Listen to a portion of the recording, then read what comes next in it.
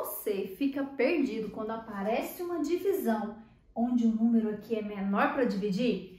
Calma, vem aqui comigo, eu sou a professora Michela Amorim, vou fazer o passo a passo para você resolver esse tipo de divisão.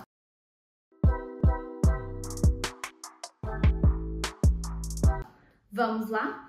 Primeira coisa, se a gente está fazendo aqui uma divisão por 60, eu preciso da tabuada do 60, tá? Tabuada do 60 nada mais é do que a tabuada do 6 com o zero na frente, tá? Então, vou colocar aqui no cantinho a tabuada do 60, tá? Lembrando sempre, eu sei que muita gente esquece, mas a tabuada não começa pelo 1, ela começa pelo zero. Então, 60 vezes 0, 0. 60 vezes 1 é 60. Vezes 2, ó, 6 vezes 2, 12, então vai dar 120. 60 vezes 3 é 180. 60 vezes 4, 240. Vou colocar aqui até o 5, tá? E se precisar, a gente coloca mais. 300, tá bom? Se você sabe a tabuada do 6, não precisa colocar. Vou colocar aqui para ajudar na hora da gente resolver a nossa divisão, certinho? Então vamos lá. Vou começar a divisão e o que, que eu preciso? Colocar um número aqui que ao multiplicar por 60 chega mais próximo de 1. E aí você pode estar se perguntando, mas não tem nenhum número, ele é menor, não dá para dividir. E olha que tem sim.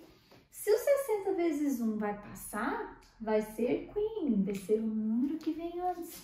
Então, vai ser o 60 vezes 0. Sim, eu posso fazer a divisão aqui e colocar o zero. Por quê? 0 vezes 60 é 0. Venho aqui, faço a subtração. 1 menos 0, 1. Sobrou 1 de resto. Michel, mas não ficou a mesma coisa? E não, não ficou. Esse 1 aqui agora é resto. Quando eu tenho o resto, eu posso continuar a minha divisão. Nesse caso, não tem mais número para descer, o que, que a gente faz? Avisa que não tem mais número para descer, colocando a vírgula, e agora eu vou acrescentar zeros, mais um zero de cada vez, certo? Acrescentei um zero, preciso dividir agora. Tenho 10, tenho que dividir. Qual é o número vezes 60, que chega mais próximo de 10, é o 60 vezes 0 de novo. Venho aqui, faço a subtração. 10 menos 0, sobrou 10 de resto. Sobrou resto, não divide o resto, mas eu preciso continuar. Então, eu acrescento um zero para continuar minha divisão. Agora, eu tenho 100. Qual é o número vezes 60 que chega mais próximo de 100? é o 60 vezes 1. Então, 1 vezes 60, 60. Vem aqui, ó, faz a subtração. Quanto que é 100 menos 60? 40. Sobrou 40 de resto. Sobrou o resto, o que, que a gente faz? Acrescenta mais um zero, tá? Agora, qual é o número vezes 60 que chega mais próximo de 400? O 60 vezes 5 é 300. Mas eu sei que o 60 vezes 6 é igual a 360.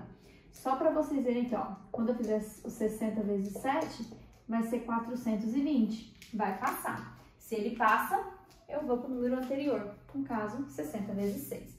Então, vem aqui, ó, coloco 6. 6 vezes 60 é 360. 400 menos 360 vai sobrar 40 de novo. Sobrou 40 de resto, acrescento mais um zero, tenho 400 novamente.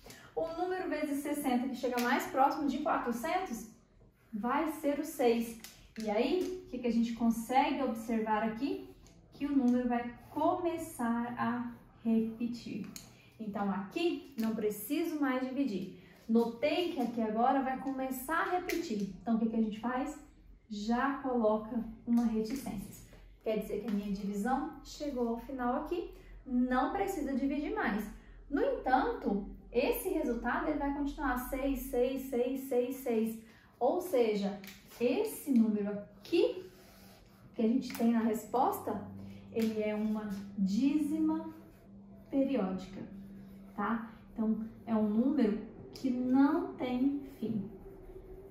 Dízima periódica. Aqui, tá? Então, esse aqui resultado da minha divisão. Então, 1 dividido por 60 é igual a 0,01666666 e por aí vai.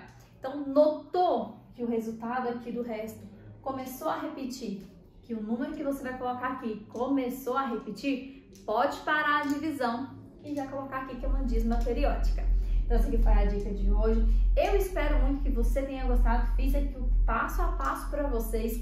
Se vocês gostaram, deixa o seu like, já se inscreve no canal e ativa o sininho para não perder o próximo vídeo. Eu te espero aqui na próxima aula. Um super beijo e tchau!